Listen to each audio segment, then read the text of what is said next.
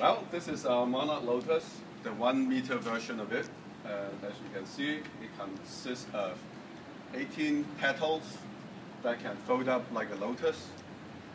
And when it's open, it will track the sun, concentrate the sunlight onto the focal point where we have water being boiled off and then being transported on the inside all the way down to the bottom where you can see the water being condensed and is the uh, piece of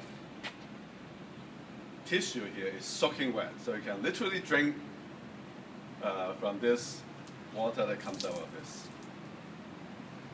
So I'm going to bring this to Saudi Arabia and uh, show it to the people there how useful it would be for you to obtain fresh drinking water from the sea.